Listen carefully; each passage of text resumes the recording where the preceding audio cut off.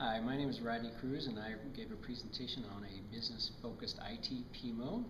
Uh, I covered the th- main things about how to deliver IT services that are based on a financial perspective.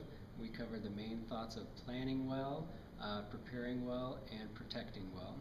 And those are the three main steps of what it will be needed to deliver a business-focused IT PMO. I want to thank the IIR for bringing us all here together for the conference, and I appreciate their support.